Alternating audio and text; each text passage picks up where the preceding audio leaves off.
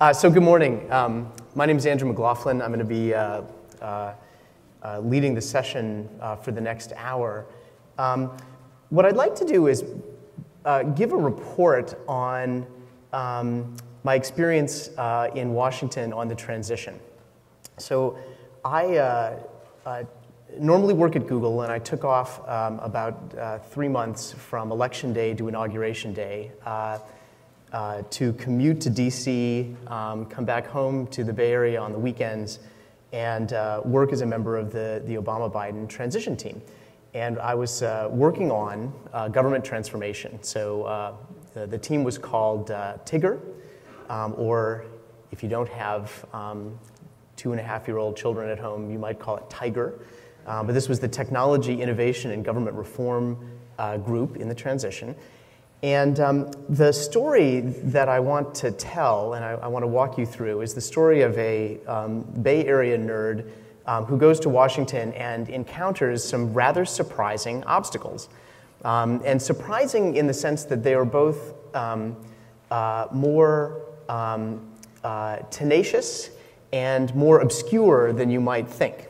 So the kinds of things that we were trying to do would be regarded as, uh, as kindergarten level rudimentary um, technology implementations in uh, the um, Silicon Valley private sector tech startup kind of world, um, but in government are viewed as a massive revolution in both form and approach.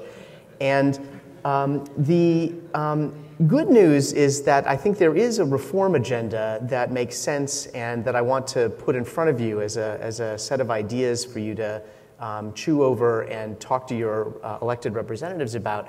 But I want to kind of walk you through some of the nitty gritty detailed um, uh, barriers that stand in the way of realizing these either large or small, depending on your point of view, transformations in the way that we run our government um, uh, at the federal level, at the state level, and at the local level.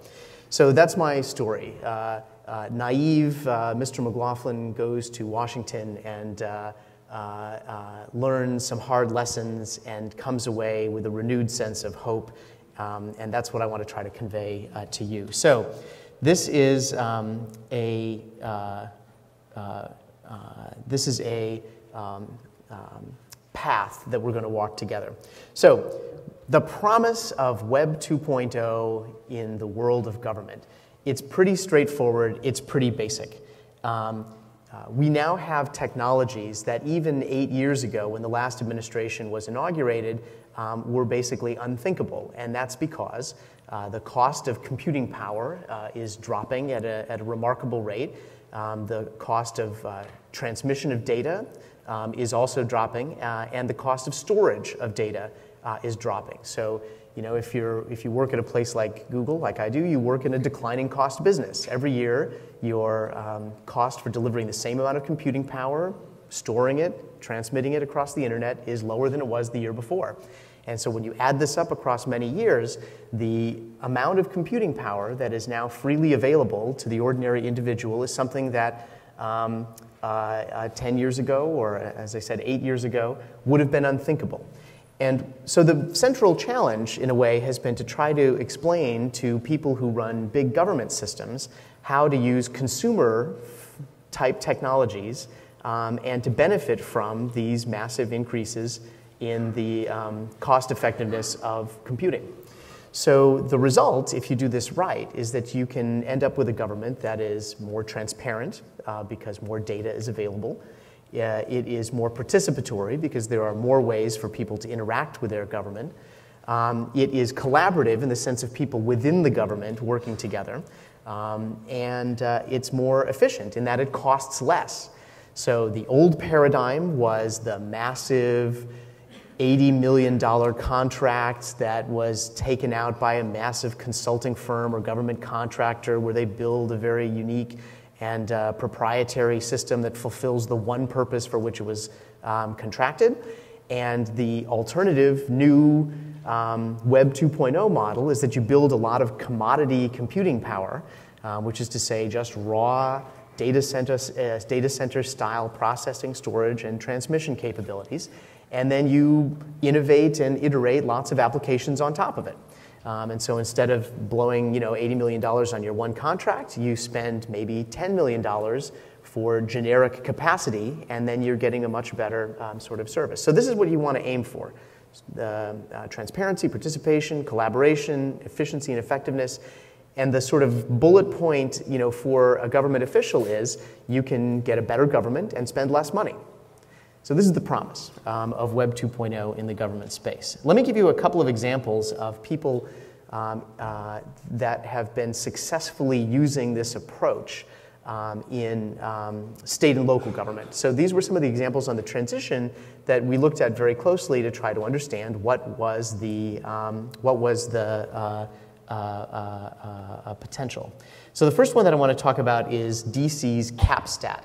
So CAPSTAT is um, a collection of applications and initiatives um, that the District of Columbia government um, has put together starting about uh, two and a half years ago. Um, a new mayor, Adrian Fenty, was uh, elected. He um, hired very quickly a cabinet level chief technology officer um, named Vivek Kundra, and Vivek compiled a remarkable record of rapid fire innovation um, in uh, uh, a government which had widely been regarded as one of the least functional um, in, uh, in the United States.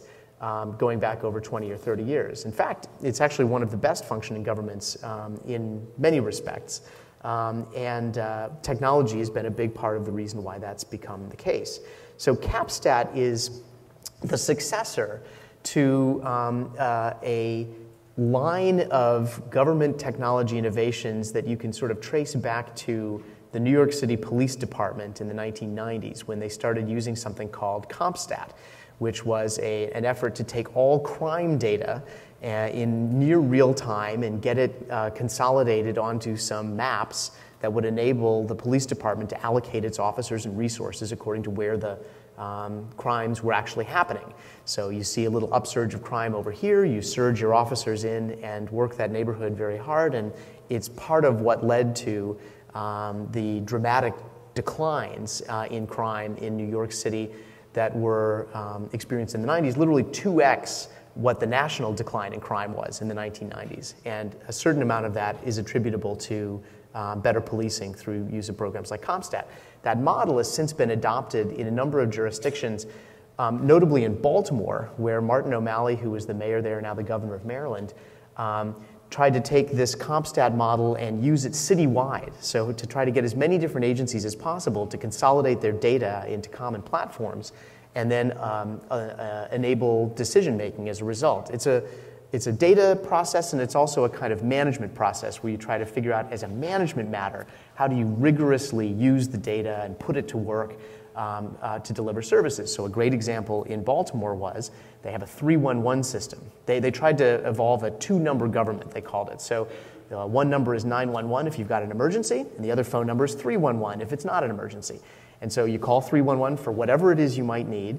And uh, the beauty of the system that they built called CityStat in Baltimore was that as soon as you call, um, your call, if it's, a, uh, if it's a complaint or a report about something like a pothole, let's say, it's immediately ticketed. That ticket is handed off to the responsible agency, and the um, uh, call gets documented up on a website. You can actually look at a map and see these things uh, as a citizen, see what's being reported when it comes in.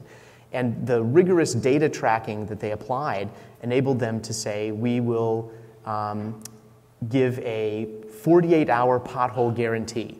So if you report a pothole, we will repair it within 48 hours. And they were able to reach, you know, about 96, 97% um, success rates um, with that kind of a system. So anyway, so um, let's take a look at DC's implementation, which is, um, which is uh, the latest kind of greatest iteration of this.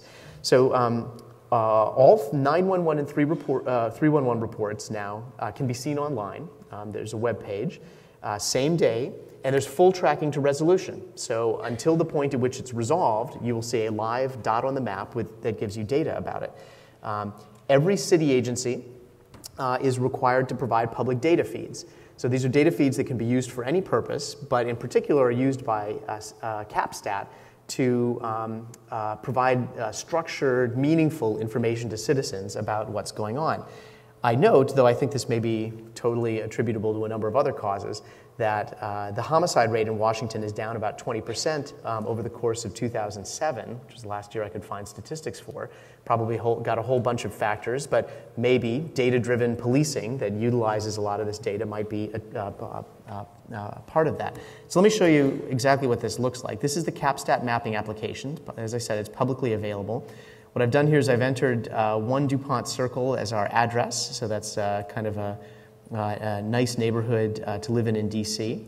Um, and I've chosen over here, you know, last seven days. Let's see all service requests. And uh, I can click here and see that there's a parking meter out of order. It's been assigned to the responsible agency, which is the Department of Transportation. It's overdue. Ticket is still open. The due date was uh, April 2nd, which is yesterday. So this is great data, um, and it's available as, as downloadable data sets. You can visualize it through this mapping application. Um, and it's useful both for decision makers in the city and also citizens. They both get to see the same thing. So the mayor, if he wants data, just goes to this public web page because it's just as accurate, just as up to date um, as anything he's got internally. And so this one single system, uh, you know, feeds everybody. There's no reason to keep this kind of data secret. A related um, uh, uh, uh, initiative is what they call the data catalog. So the Office of the st- set out to create a website that pulled together just large data sets and made it possible for people to easily find the data, mash up the data, and, um, uh, and uh, use it in whatever way they want to. So, you know, here you see uh, the kind of front page. There's lots and lots of data that lies behind this, but um, you know, it's everything from crime statistics like juvenile arrests and charges uh, to current construction projects, to computer deployments across city government, um, building permits, public space permits. Um, all of this data is kept up to date and accessible here. One of the things that they also did, which I thought was a great idea, was they set up an innovation contest called Apps for Democracy. But the idea was they gave $20,000 worth of award money to developers who created applications that utilized the data. Um, and there's lots and lots of um, you know, applications that I thought were pretty interesting, pretty impressive. Um, there's a uh, uh, both a, a, a, jury. There was both a juried award process and a, a People's Choice Awards. Um, and one of the applications that I thought I would just note is one that somebody put together called Stumble Safely. So this is a guide to bars and how to avoid crime when you are leaving the bar at night.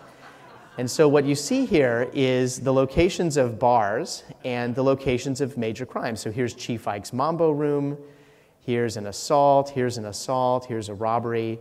Uh, I note somewhat depressingly that uh, the crime seems to be pretty well distributed, but I guess if you go west, maybe you're going to um, have your best route of escape.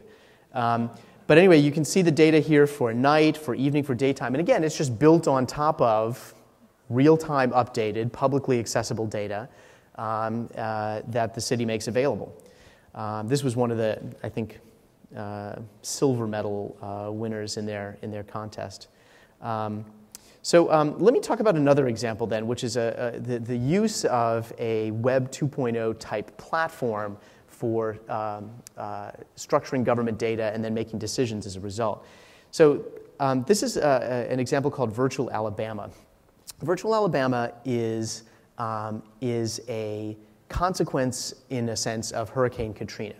So, in the wake of Hurricane Katrina, um, uh, Governor Riley in Alabama felt that he um, really lacked any um, semblance of the data that he felt he needed as a governor. So, they would be, you know, he tells a story about how he was flying over uh, some devastated coastland in the Gulf, and he sees, um, you know, from above uh, where these houses are destroyed, where the um, shoreline is hitting, where the sandbars are, and so forth.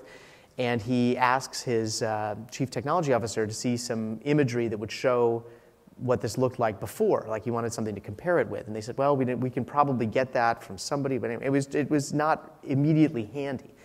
And so he asked the uh, chief information officer um, of the state, uh, who's a very innovative, thoughtful person, um, to go try to build a system that would give him, as the chief executive of the state, much better um, data tools to be able to deal with disasters like Hurricane Katrina. And so, what they stumbled into, in a sense, um, or, or, or, sort of uh, backed into, was using a geo platform. In this case, it's Google Earth, but I'm not, i promise I'm not just shilling for, for the product, it just happens to be one that I know about. Um, they used Google Earth as a back-end platform for all geocodable state data. In other words, this started off as an emergency response idea, and then it basically evolved to be an organizing principle for a tremendous amount of state data. Um, and you'll see what I mean about this. So uh, it starts off as an emergency platform, becomes a back, uh, backbone, and the res- uh, of sort of government data management. And um, the, the, the critical point here is that their total cost for the enterprise license, in other words, for a private, secure version of Google Earth that they can run on their own servers, was about $180,000. Um, and if you compare that to the amount of money that states typically spend on IT contracts, I mean, uh, anything less than $20 million usually gets sneezed at or ignored in the grand, you know, the margins of the budget. So, um, you know, the amount of money that you have to spend in order to get a much better um, outcome is, is, is uh, an order of magnitude or, or more less than what you were spending before. Um, so, like I said, total cost about 160,000 bucks plus two staff. It currently supports 550 agencies, meaning state and local governments and state agencies. Um, they went from 10 days from the governor making this request to having a functional system um, up and running. They were able to iterate it very quickly. And it's basically enabled the state, in one sense, to mothball its emergency operations center, um, meaning that um, now, if the governor needs you know, access to um, very rich data, he doesn't have to go to a room somewhere in the state capitol. He just has to pop open a laptop um, and uh, log into Virtual Alabama and see all the data as it's being uh, as it's either stored or as it's being um, added to by emergency responders and first responders out in the field. All right, let me show you what I'm actually talking about because that will make this even more clear. So here's an example of what uh, the governor gets to see. Um, and it's, uh, you know, typical Google Earth, just sort of a geo platform. What's critical about the, the, the approach here is that they said, we want to get everything possible onto one platform. So that means we'd like to see the locations of all power lines, the locations of all sewer lines, uh, gas lines. We'd like to see um, the locations of all state buildings, floor plans for all state buildings, floor plans for all schools. Um, we want to see evacuation routes, floodplains, zoning data, election returns uh, at the precinct level, historical data, uh, locations of cell towers, real-time locations of emergency vehicles with, uh, that are equipped with GPSs, um, and so forth and so on. So anyway, any, any state asset, um, anything that might be important to an emergency responder, fire, earthquake, uh, hurricane, um, uh, uh, shooting um, or active violence, whatever it might be, um, it all goes onto the same platform. And you know, with a reasonably intelligent model for permission and access controls, um, you can really uh, uh, uh, push this data out to state employees. So not only the governor can pop open a laptop, but a uh, police officer who's driving towards the scene of some reported uh, uh, emergency can again just pop open the laptop, log in, and start looking at all the data that might be relevant. So let me give you some examples. Um, here is, uh, you know, for example, uh, a 3D area um, of Huntsville, uh, sort of downtown Huntsville. And what you see here is, you know, a few data layers, like, for example, cameras. If you want to see CCTV cameras, you can just go click uh, on one of these um, and see the images that they're seeing in real time. That might be very useful if you're trying to understand a situation. You can see the locations of emergency response vehicles and um, major facilities. Um, here's an example of a, of a uh, laboratory um, at a state university, um, and it allows you to very quickly click in to see a camera in a hallway. Um, if there's one there, you can click in to see a floor plan um, of, the, uh, of the building if, uh, if you need to see it. And uh, uh, here's a um, picture of a, of a modeled uh, a chemical release. So, some kind of toxic chemicals are released from this storage facility over here, and it shows you with a certain wind uh, direction where the uh, downwind affected area is going to be. Um, so you can do planning. Here's uh, floodplains uh, for a river. If the river reaches you know, uh, X number of feet above its uh, flood stage, and you can see exactly what's going to be affected and so forth. So this is all data that the state's been sitting on, right? So different agencies of the state are sitting on the data it's just been, you know, uh, gathering dust or, or, or, waiting for somebody to come unearth it and use it. And by putting it all together onto a common platform, you're ready for whatever might uh, happen. Um, one thing that's interesting is a matter of just kind of bureaucratic uh, uh, organization is that the state uh, and the governor did not send out an order that said to everybody, you must uh, move your data onto this platform. What they, uh, because you know, there are county governments and local governments that are at least nominally independent of the state and have their own electorates and so forth. So you can't just kind of order them around. You can order the state agencies that report to the governor, but not the local ones. But mu- much of the really interesting data is going to be held by those very local units of government. So um, the uh, governor's approach instead was to make it a, an attractive trade off. So what he says is if you want access to virtual Alabama, then you have to give us your data and you have to keep it up to date. So if you play, we'll give you access to the statewide system. If you don't play, fine, you know, but you won't get access to the system. And that actually has been extremely effective. Uh, it's, uh, it's an attractive approach rather than a coercive approach. And in the environment of uh, you know, a complex and uh, often um, proud bureaucracy, um, uh, uh, that's a very effective approach.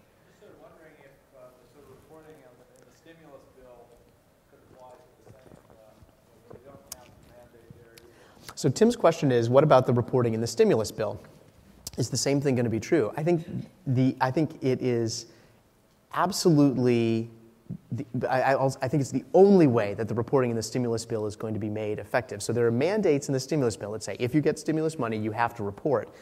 But I hope that they will also uh, try to set it up so that you look good politically if you do play ball. Um, you know, a local congresswoman of ours, for example, uh, Doris Matsui, uh, was the first out of the gate as the first member of Congress, um, she's from the Sacramento area, to list all of the stimulus funded projects in her district. Um, so if you go to her website at the House, um, you'll see a, a nice um, graphic uh, using maps that shows you what's getting funded by the stimulus. And I think it's, it makes her look good. And so hopefully, you know, sort of positive political competition will drive those same kind of, um, those same kind of uh, dynamics. Um, I have a little bit of video of Google Earth, but I think I'll skip that. The stills basically capture um, how it works. Um, just from an internal management perspective, there's also uh, an important set of innovations that were done in Washington state. So, Governor Christine Gregoire there was very innovative um, over her first term um, and uh, uh, created a system that they called GMAP, which is Government Management Account- and Accountability Process. And the GMAP program is basically a very performance driven, data driven approach to managing the state government. One of the things that they did that I really like is the governor set a series of horizontal objectives. So it would be things like clean up Puget Sound, move people from welfare to work, um, uh, protect at risk children. Um, and, uh, and, and that affected multiple agencies. And then she, as governor, would chair monthly uh, meetings where the relevant agency heads would have to come in uh, just like if you remember the New York Police Department story, I don't know if you've ever seen The Wire, but The Wire uh, on TV uh, uh, often showed these meetings where the police chief sits down here with his data guru, and then the local commanders have to stand up there and talk through what's been happening in their districts, and it's very tough questioning back and forth. Um, Governor Gregoire took a similar approach, which was to have the agency heads come and basically uh, report month by month how they're doing um, on the goals that she set. So a goal would be, for example, how do we move um, the, uh, the response rate for child abuse calls from 69%, where it was um, 69% within 24 hours, where it was when she took office, to closer to 100%. And so um, it was a cooperative process. The agency head would come in and uh, um, talk about what was working, what was not working. The governor wasn't there to kind of like punish, um, but rather to figure out what the problems were and help. One of the things that I love about this process is that she did it in public. So the public could come and sit in on these meetings, and they videotaped them and they put them up on a state website uh, uh, right after the meeting. That's very transparent. You know, this is the governor, governor sort of letting the public into the basic core management process of the state, which is set goals, hold people accountable, work through the problems. Um, and uh, you can see that they got you know, their highway projects completed on time. They got uh, their uh, child abuse response rates. They doubled job placement rates. They had the lowest traffic facility rate in history. And um, it's all built on data. Um, and the beauty of it is that it's data that the public gets to see just as the governor gets to see it. So, an example of what this looks like is uh, the agency head dashboard. So this is for the Transportation um, and Infrastructure Bureau in, in, state, uh, in the state of Washington. And this gives you an idea of kind of the dashboard that the head of the agency gets to see and is also available to the public. So this is the you know, statewide project inventory, and I, will spare you the details other than to say that you know, it's um, um, uh, up on the web if you want to uh, drill down. But an individual project looks like this. You know, here's an East Marginal Way overpass uh, in, in, Seattle, and you can see the uh, uh, date that it was designed, when it was constructed, when it's going to be open to traffic, how far they are along, um, how much money have they spent so far, how much is budgeted. Um, and uh, it's an incredible amount of transparency into these projects. And if what you're trying to do is keep projects on budget and on time and stop corruption, um, there's really no better tool than, uh, than, than, than this. Um, so uh, let me give you one last example, which um, I think is kind of a fun one, uh, which is called SeeClickFix. Um, this is something that's basically been hacked together by uh, some people in Connecticut uh, and elsewhere and it's basically uh, you know, trying to provide this sort of uh, reporting service um, for any community nationwide. So this is my neighborhood in, in Noe Valley, um, and you can see here that people file reports like skunks take over Sunnyside Park. Large group of skunks have moved into Sunnyside Park. They are spraying and making the park smell so bad you can't use it. Five additional people want this fixed. Uh, you know, and what's cool about this is that um, uh, I can create a watch area here. So I can go in and um, uh, you know, define a polygon like this, let's say, um, around my neighborhood and say, anytime somebody creates a report here, I want you to send me an email, or you can do it by RSS feed.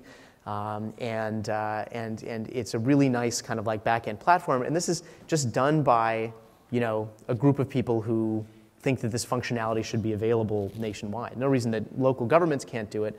Um, but when the data you know, is, um, uh, is publicly available, either because the government has it or people are generating it, you can do a lot with it. All right, so I'm sitting there on the transition and I'm you know, sketching out memos that try to make the case for um, the government to build around commodity computing and uh, start to you know, innovate applications on top of it, and move away from these stovepipe contracts and so forth. Here are some of the obstacles that I ran into, and I'm going to I'm to lay them out in um, a little bit of detail, um, uh, just because I think it's important to understand, if not so much to understand the details, at least to understand the kinds of things that you run up against in Washington um, when you try to uh, bring Web 2.0 to government. And then I'm going to end with some notes about how I think we can, you know, sort of move forward uh, despite these obstacles. So the first th- set of things that I ran into are what are called acquisition and procurement rules. These are the rules and processes by which the, the U.S. government um, uh, uh, uh, gets anything from a chair um, to a, uh, uh, uh, an Air Force fighter jet to a computer system. And so um, the qu- kinds of questions that were raised is, you know, if the government wants to use a free online service like Flickr uh, or Facebook or YouTube, does it have to go through a competitive bidding process? Um, even though it's free, it's a competitive market and there are lots of providers, and uh, shouldn't the government have to go through it? And a competitive bidding process, I can tell you, is a very elaborate, painful, time consuming, excruciating process that uh, uh, that very few free online services are going to be incented to go and take part in. They would have to complete endless amounts of paperwork and so forth. And it seems kind of crazy if what you're talking about is basically the gratuitous use of free applications that are free to everybody in the world. Why should the government have to go and do a competitive bidding process just to go and use it? Um, and so, one of the things which, uh, which uh, has emerged as a kind of middle ground in this debate has been what are called uh, uh, gratuitous service agreements. So, uh, in this case, the um, General Service uh, Administration, the GSA, which is kind of a, a, tech service provider, provides everything from the furniture to cleaning services, operates buildings, um, and also provides a lot of the web hosting for federal agencies, just signs a single agreement with um, uh, YouTube or Flickr, or um, in, in the case of video, Vimeo, Blip TV. They've done all these agreements. And then on the basis of that one agreement, any federal agency can go in and use it. Um, that makes perfect sense. But, but uh, and the Library of Congress has done this with a number of, of, of, providers too. The thing to keep in mind about this, though, is that, is that governments can't just suddenly show up and start using um, uh, uh, free online services because um, the terms and conditions that those free online services uh, publish and, and apply to their products apply to all of their users. If the federal government is a user, then it's potentially subject to those terms and conditions. And for a bunch of reasons, the federal government has to protect itself from terms and conditions that it may not uh, like. There's another problem with advertising, which is that agencies are um, uh, restricted from carrying advertising for private individuals or firms or corporations. And so, you know, for example, a White House channel on YouTube or uh, uh, photo stream um, or a page on, on Facebook has to not carry advertising alongside it because otherwise that would put it in the position of um, uh, implicitly endorsing the things which are being advertised. So um, again, you, they had to come up with kind of like special arrangements with these Web 2.0 services. A specific example is what's called indemnification, and there's a, uh, a, um, a statute called the Anti Deficiency Act, which basically prevents agencies from incurring potential debts or obligations um, beyond certain limits. It's kind of a sensible general idea. You don't want your uh, agencies to be able to just go out and suddenly incur a billion dollars of potential liability unless it's been somehow accounted for and, um, uh, and signed off on by, uh, uh by the federal government through the budgeting process. And so, um, federal, so there are statutes that, that, that give you some guidance here. The problem is, most online Web 2.0 services have indemnity clauses in their um, uh, terms of service, which are unlimited. So, you know, if I'm running a Web 2.0 service, uh, and uh, um, um, uh, what I'll say is, if you're using my service, you hold me harmless. You agree to pay all of my costs from anything that you do that's illegal, against my terms, um, but you're the one, you're potentially liable for the total amount of damage that you caused me through our relationship. The federal government can't agree to that. Um, the statutes just prohibit it. So, for example, you know, the Veterans Administration wanted to use uh, Second Life um, uh, for uh, uh rehabilitation uh, purposes, and uh, the Linden Labs contract says unlimited liability, the VA is limited, and so they actually have to go and negotiate a special agreement, um, and the Web 2.0 firm has to agree to make that uh, to make that um, uh, change. Another problem is legal jurisdiction and venue. So almost all of the boilerplate language that goes with Web 2.0 services, just like any you know, click wrap agreement or shrink wrap agreement or any you know, generic boilerplate agreement that you're used to, says that the, this you know, contract will be governed by the law of the state of X and venue will be in you know, Los Angeles or San Francisco or Delaware or whatever it is but it always specifies that. The federal government is not subject to state law, it's only subject to federal law, and so it can't agree to terms and conditions that would potentially subject it to state law. So, for these reasons, you know, even just signing up for a free online service is uh, harder than you might think. Next cluster of problems. These are access problems. So uh, the first one is, is basically just you know, employee access and use of social media, um, a lot of uh, agencies explicitly prohibit um, employees from using social networking sites uh, during work hours. Um, uh, this is because they've just been presumed to be social rather than work related or personal rather than um, job related. Um, but uh, uh, one of the things that I think needs to change is that we need to establish a presumption um, that uh, access to these kinds of sites is okay unless you've got some kind of job related reason not to be doing social networking. Um, but that's a, a, an existing problem at a number of agencies.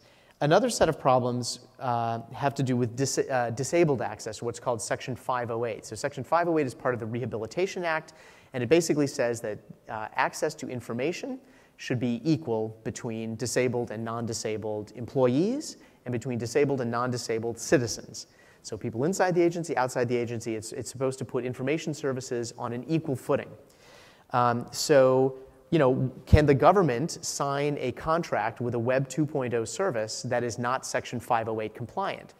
Technically speaking, they probably can, but the spirit of Section 508 is that government data, as the government communicates with people, should be equal between disabled and non disabled people.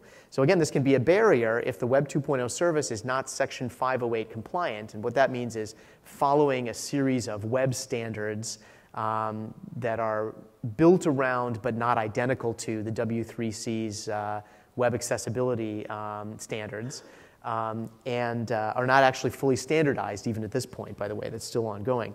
Now, there are some positives about Web 2.0. So, some of the things which are now coming out in online video services, uh, for example, are like auto captioning of online videos. That's a great thing. That's actually going to really help government, which has had to pay for. Um, uh, you know, transcribers to go in and transcribe videos in order to make them Section 508 compliant. Uh, Web 2.0 uh, offerings can do that automatically now and for free, so that's great. But still, there's this Section 508 um, issue.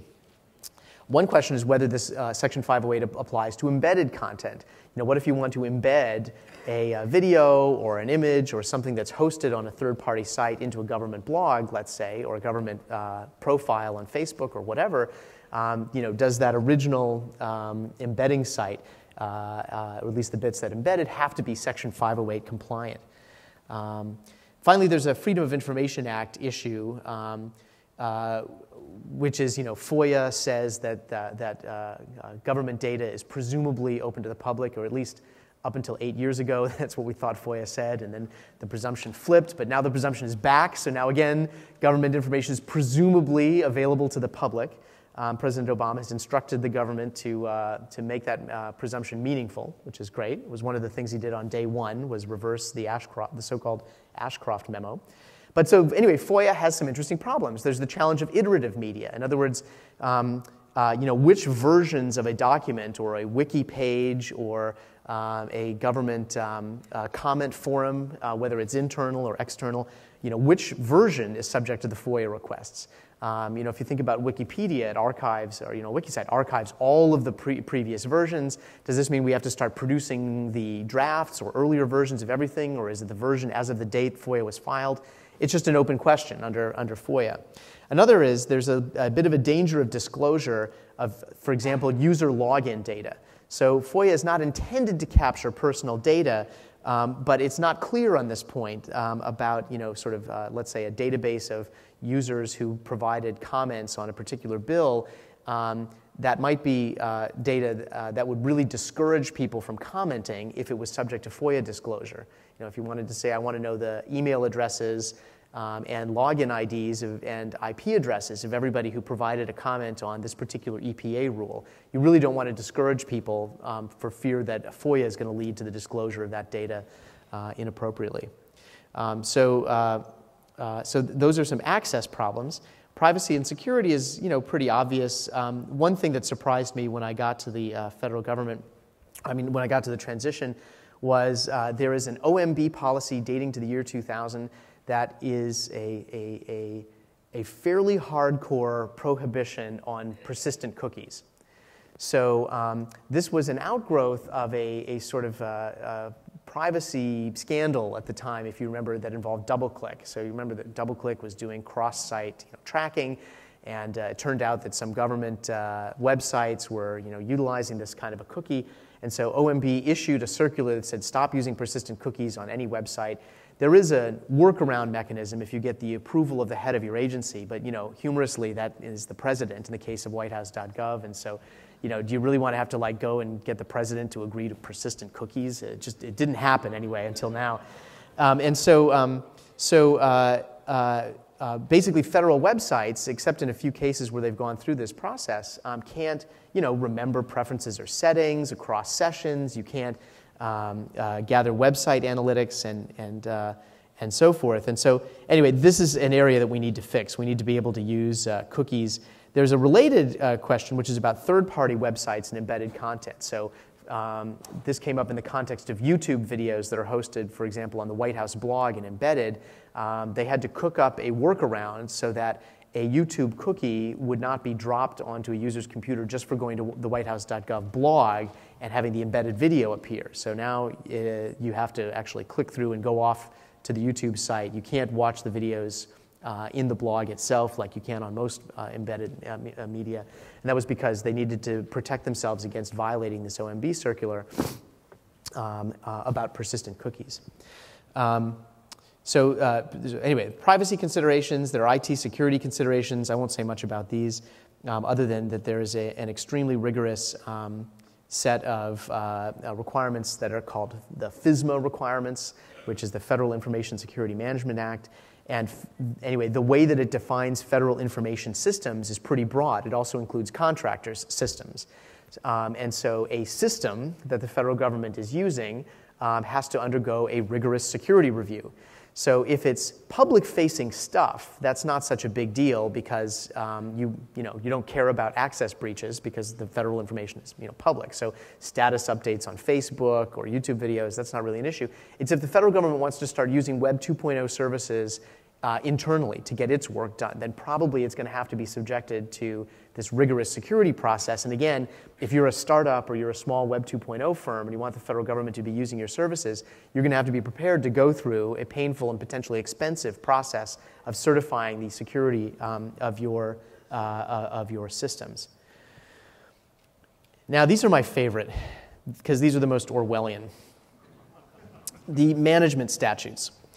Uh, so the first one is the comically misnamed Paperwork Reduction Act, um, which dates back to originally 1980. It was revised in 1995. Um, and it, it responds to a real but somewhat counterintuitive problem.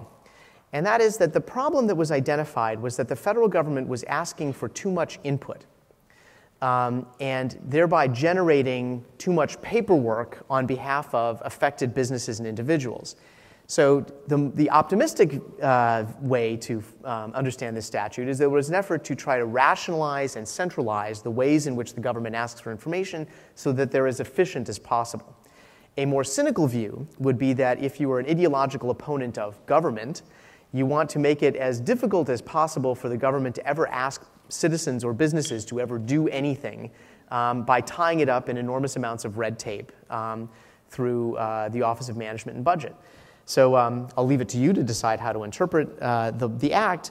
But here's what it means in practice is that to collect information through, for example, an online survey, you have to go through basically a six month OMB review and certification process before you can publish that survey. So if you want to just sort of like throw up an input mechanism on some issue that's going on, uh, this is uh, quite a barrier and a very real barrier. Now, to be a little bit more specific, what it, what it applies to is solicitations of input and ideas that involve particular data about users. So um, this is not, uh, you know, to ask a kind of generic uh, policy uh, question, you know, like should uh, the death penalty be applied to 17-year-olds? you don't have to worry about that. But if you're, if you're saying um, something where you want people's stories or their personal experiences, but something that's personal, then um, the Paperwork Reduction Act applies. Um, it applies to uh, that kind of data. So anyway, it can, trigger, it can trigger these um, OMB processes uh, and um, it applies to you know, websites and web surveys. So this is a very real problem and one that's going to have to be addressed. A related one is the Presidential Records Act. So the Presidential Records Act um, is, a, is a wonderful thing. It requires that all documentary records, all documentary material um, that the executive office of the president generates um, is to be kept. Uh, and these are the massive piles of paper that get shipped off to the presidential libraries, um, where it's locked up for some number of years, that eventually becomes open to historians and scholars. But um, it's really taken very seriously, you know, keeping a record of everything that went on in the White House. The problem is that um, it requires that everything be kept in paper. So, no lie, government webmasters have to sit and print snapshots of their websites uh, on, a, on a regular basis. If you do a blog post, you've got to print it. Um, and this becomes a real headache when you've got a website that takes comments, for example, because then you've got to be printing paper versions of all. Anyway, so it's, it's uh, pretty ridiculous. Um, and so you can imagine the questions that get raised here. You know, what about third-party websites? What about status updates on Facebook? You know, does an agency doing a status update on Facebook have to save that in paper form? Uh, answer: Yes, currently. So, um, uh, you know, we need to enable electronic storage of electronic records. Um, and that is, of course, a solvable problem. We know how to do that, but we need to go through and do it because right now, you know, you've got uh, webmasters that are basically blowing a lot of time to print uh, content on their websites um, in order to comply with the Presidential Records Act. Um, and the last one that I want to mention here is uh, commercial endorsement. So, um, commercial endorsement is something that's very, very important for the White House in particular. The president should not be endorsing products or services. Um, and the White House counsel's office takes this very seriously, as they should. They are extremely, extremely careful about keeping the presidency and the office of the president and the person of the president away from any endorsement of particular products or services. Um, and so the question about you know, the government using a website uh, or, a, or a, a, video embedding service like YouTube then becomes a very interesting one. Um, is the president endorsing YouTube by including YouTube videos uh, embedded on a, um, on a government blog? And the question is kind of like, well, if the president gives an exclusive interview to the New York Times, uh, but not the Fargo Forum, um, is the president endorsing the New York Times over the Fargo Forum? And the answer is no, we've never really thought about it that way, right? There are objective reasons for why the president wants to use um, the New York Times uh, as a, or, or, you know, this week with uh, George Stephanopoulos. You know, like if he goes onto one particular show, that's not the same thing as commercial endorsement. Um, on the other hand, um, uh, you know, YouTube, for example, is just a platform. It's not exactly a reporter, you know, asking questions and engaging in an editorial interaction. It's just sort of a service. So I don't know, it kind of feels like a media outlet. It kind of feels like uh, just a plain old commercial service, and hard to know exactly how to think about it from a, a commercial endorsement uh, context. Same thing with you know Facebook. What if you put up a profile, you know, have a White House channel um, on Facebook or have a Twitter account? You know, is that somehow commercial endorsement in this competitive landscape? And what the White House has been doing, which I think is the right way to do it, is being very uh, sort of broad minded and making sure that it provides videos in downloadable MP4 formats. It uses multiple different video services. It rotates the embedding um, uh, uh, uh, sometimes so that uh, different services like Blip or Vimeo um, get, uh, get highlighted and used. It includes links to them in all events. That's probably the best way to do it um, if it's on some objective basis. But anyway, it's, um, it's always an issue for the White House to stay away from commercial endorsements. Okay, so these were some of the things that I encountered. They were a little bit surprising to me. Um, and um, I just want to say that they are going to prove to be more thorny and tenacious than we think. I thought, you know, we could wipe away most of this stuff on day one with an executive order or two. That's not the case because, uh, uh, and I, I wrote the draft, but it didn't go anywhere. Um, and that's because uh, that's because um, uh, some of it is statutory. They're actually statutes. And the way that you reinterpret statutes is through regulations or through rulemakings, and that takes time. You have to initiate the rulemaking, uh, you have to work it through the um, Administrative Procedures Act process. And, uh, um, and there are some things that are within uh, the, the, the, the, purview of the um, presidency to do on, um, on its own. Um, but there are many things that require the cooperation of Congress and so forth. So that gets me, so we do need to change these rules, and I noted you know, some of the ones that I think need clarification, refinement, adjustment, um, or whatever. But the real point that I want to raise is, is, is, is, um, is about culture. So the way that we're really going to get a better government is to change the culture of government, and that's very hard to do. Um, it is, uh, it, it is um, uh, a laborious process. Um, but there are some really good people uh, around the federal government. I got to know some of them when, when I was um, uh, on the transition. And it was interesting to get to know people at GSA, at the State Department, at DHS. Um, there are little sort of cadres of people who are very web savvy, very ambitious, very energetic, very anxious to try to change their agencies and to try to make them more open, more transparent, more participatory. They really want to do it, but they run into these kinds of headaches and they run into a bureaucratic culture which doesn't really value this. I think the good news is that uh, President Obama really personally gets this. I mean, one of the bills that he wrote when he was in the Senate was um, a, a, bill to make all uh, earmark and spending and budget related data easily searchable through a, a web interface.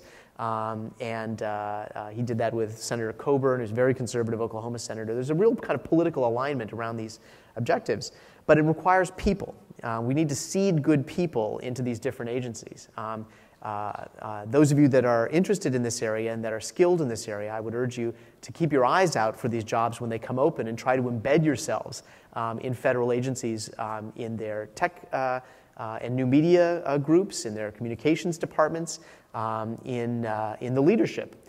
Um, and my note to you as voters is you need to talk to your electeds and your candidates about this because um, this is the kind of thing that will happen slowly or it will happen more rapidly depending on whether there's pressure. And the way to generate pressure is to raise expectations um, for what's possible and to clue these people in to what they might be able to accomplish. You know, the, the talking point here, I think, is, you know, use good technology, you get better and cheaper government, you get reelected. You know, it gives you something to run on. But um, it's a point about uh, uh, people, um, my, my, point is about people in government and, and, the culture that they bring with them.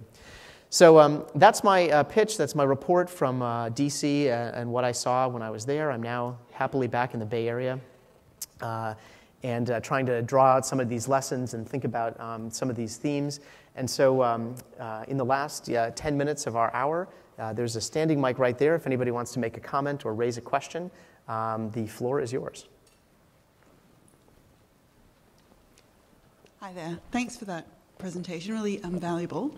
Uh, my question is about Washington State. When you were talking about what the governor was doing there, I was wondering if you had any information about uh, constituents, how they may have used some of the data that was publicly available, any testing information or any feedback that you had, how the press may have used it, and how candidates in elections may have used that data.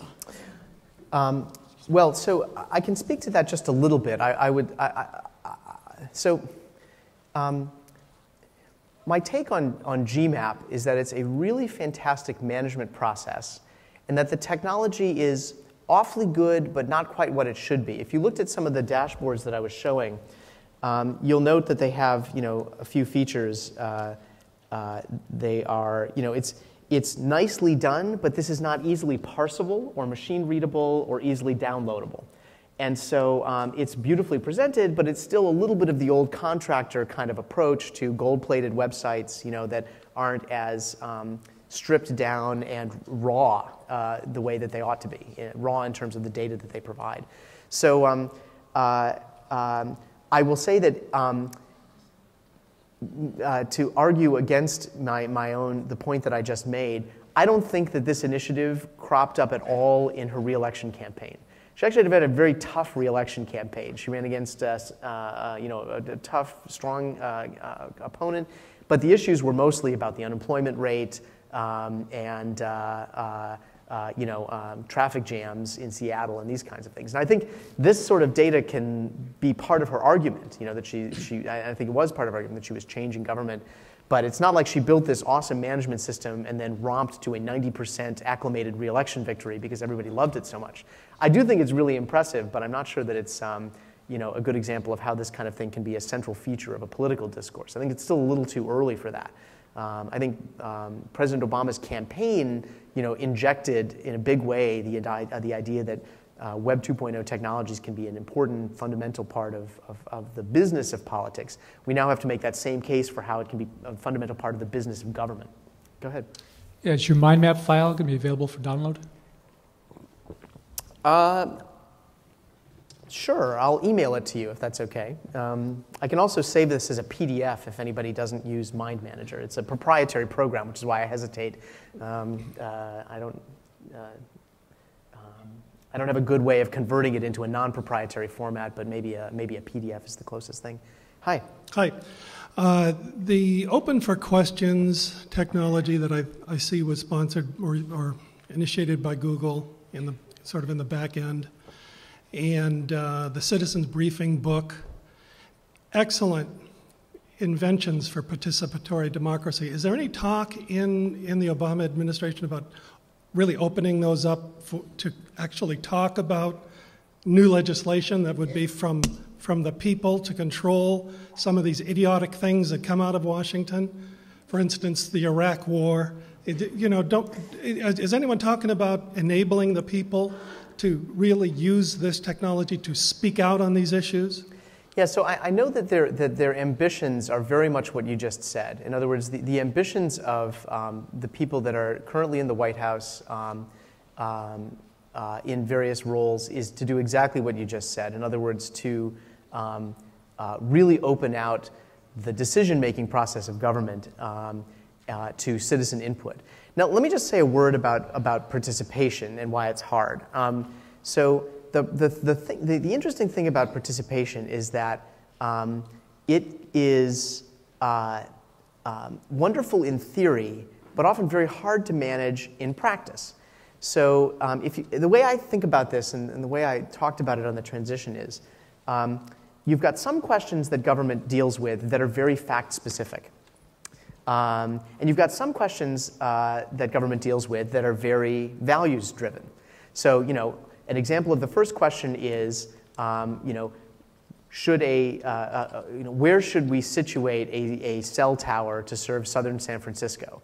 Um, that's a pretty fact driven question. There are scientific factors and range factors and uh, uh, accessibility and land, all these different things.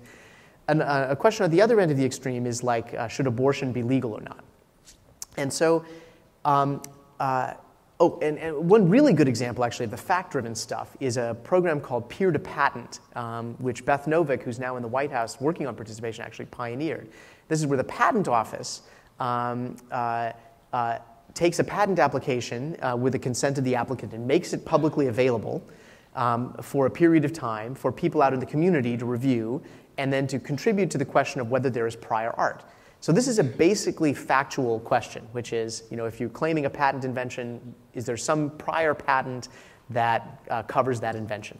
And uh, uh, the beautiful thing about it is you can kind of crowdsource these inputs, um, and the normal patent process keeps this process secret. So anyway, so if we've got peer to patent on one hand, which is you know a very fact-driven question where you can crowdsource the question of whether there is prior art, yes or no, um, and abortion, should it be legal or illegal, as, as, as, sort of polar ends of this spectrum, participation, online participation, tends to work best in um, the fact specific category. You know, if the government asks a very values driven question and gets you know, a million emails generated by NARAL and uh, the National Right to Life Committee, um, it's kind of hard to know how to weight that um, in a decision making process. On the other hand, if you're looking for factual data, um, uh, this uh, crowdsourcing may be a great way to do this. The problem is that most government decisions come somewhere in between. They've got some amount of values. You know, for example, uh, uh what should the withdrawal date from Iraq be? That's a little bit factual. It's got a lot to do with your, your sense of you know, the kind of grand um, sort of um, uh, uh, issues of the US and Iraq. Um, you know, should we be there at all? Should we ever have gone there? What, what are our goals? What are our objectives? Very complicated questions. And so um, I think that what you're going to see, to um, bring this to a point, is that um, the Obama administration and its various agencies are going to be experimenting with lots of different small scale tools like um, Ask the President or um, uh, the Citizens Briefing book that are you know, kind of focused little one off experiments that will then evolve into platforms. So, uh, you know, eventually I expect the White House will have some commenting platforms and some interaction platforms and some collaboration platforms, participation, that will be pioneered in sort of one off settings where they try to figure out what works and what doesn't work. And the real trick is to target the tool to the question. Um, there are tools that are good for really wide open ended questions, there are tools that are good for very specific fact uh, questions, and uh, the one that you pick needs to fit the question very uh, precisely. Hi, I was on the development team for the DC Gov uh, back in 2000 to uh, actually 2008. So I was through both mayor administrations, Mayor Williams and Mayor Fenty. Um, back in the 2000 era, we didn't have any Web 2.0, of course, and part of the problem was uniting all the different agencies across a common platform for a look and feel and consistency. Um, and I understand that the federal government, of course, the White House and other things, all have their own separate fiefdoms. So I wondered how, if you had any suggestions on how they would be able to adopt common platforms that would be consistent for users, but also, um, I guess, uh, easily used by users. So this is a great question. Um, one of the interesting reforms in the 1990s that was positive in many respects, but you know now has the kind of inevitable, unexpected second order, you know, or unanticipated second order consequence, was something called the Clinger-Cohen Act. So the Clinger-Cohen Act set up the federal government so that there is a CIO in every department and agency. The problem is that these CIOs have often, you know, done good work at, you know, making the emails, uh, uh, you know, uh, work on time, you know, arrive on time, and that sort of thing. But now they operate as fiefdoms, and it's getting very hard to get CIOs now who are independent, they're accountable to their department head, not to any centralized IT authority, um, to uh, work together.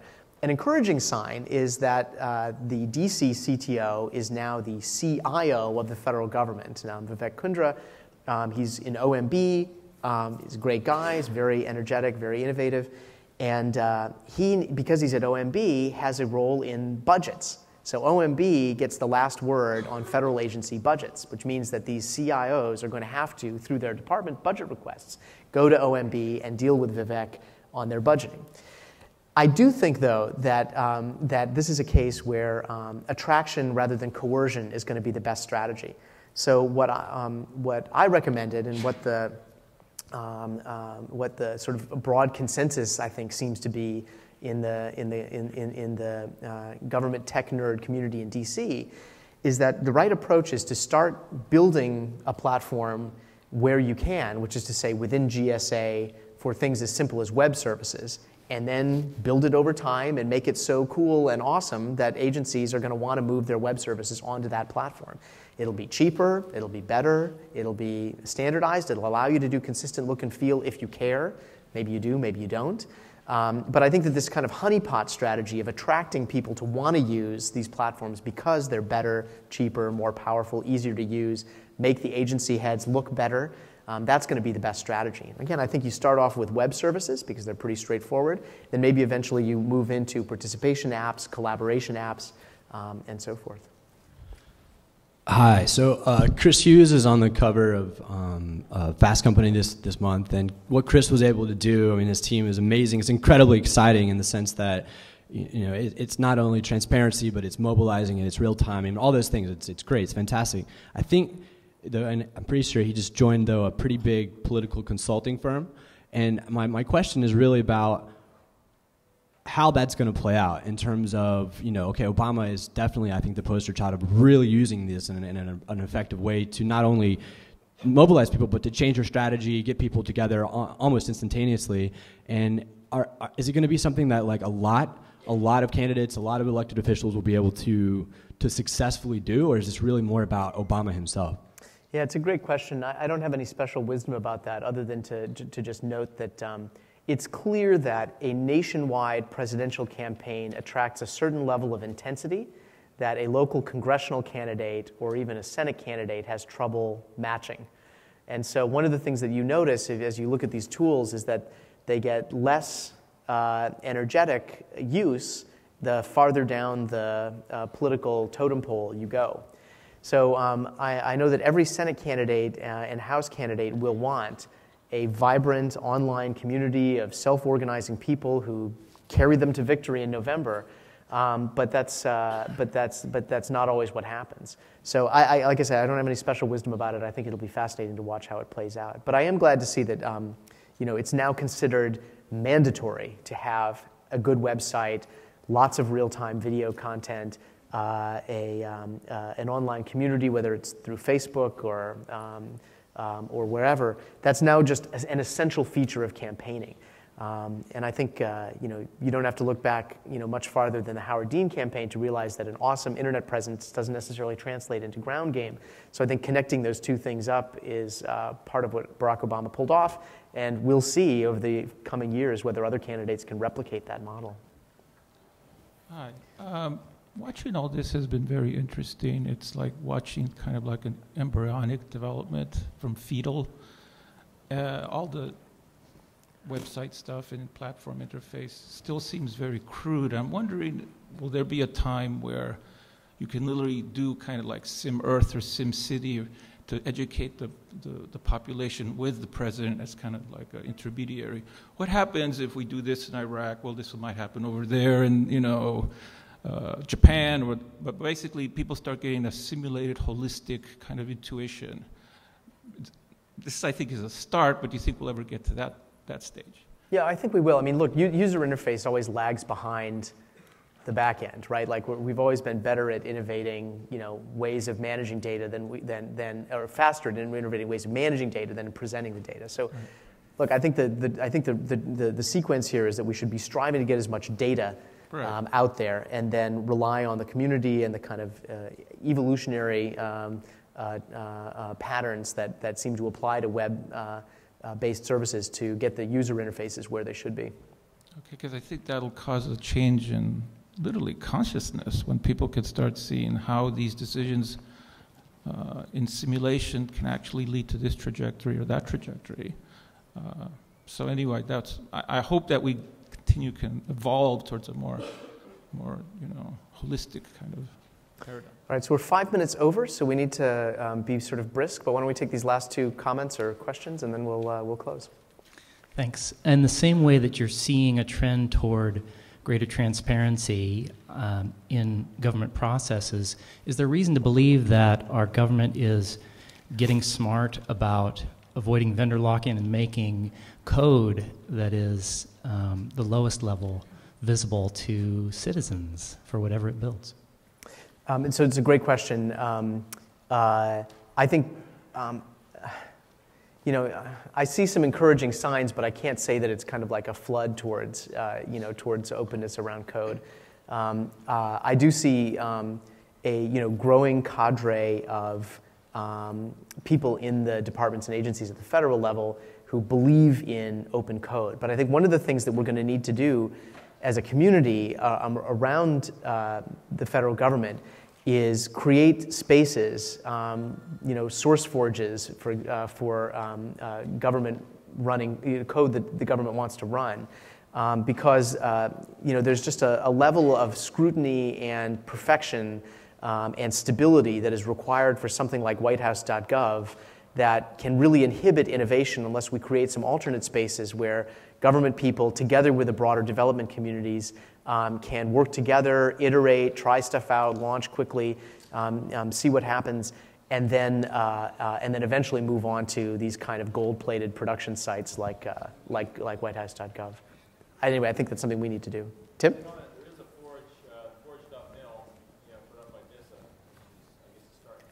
Yeah, uh, Tim was just mentioning Forge.mil. I mean, again, this is actually a really interesting um, phenomenon, which is that, that the defense and intelligence communities are um, pioneering government use of these technologies. They're way ahead of the rest of the government when it comes to um, um figuring out how to, how to do things. You know, for example, Intellipedia is a, is a wiki information um, collection and writing system that the intelligence community is now using um, with incredible success. Once they got themselves past the security problems that they always assumed would apply to um, you know, uh, uh, wiki type technologies, they realized that it's a, it's a staggeringly efficient way to get data out of the brains of the many thousands of experts that they've got within their, uh, within their communities. And uh, um, uh, the uh, defense, um, the DISA and DARPA and some of these other agencies are also you know, doing really, really smart things about, um, uh, about, about it. What we need to do is uh, move those um, conversations and move those efforts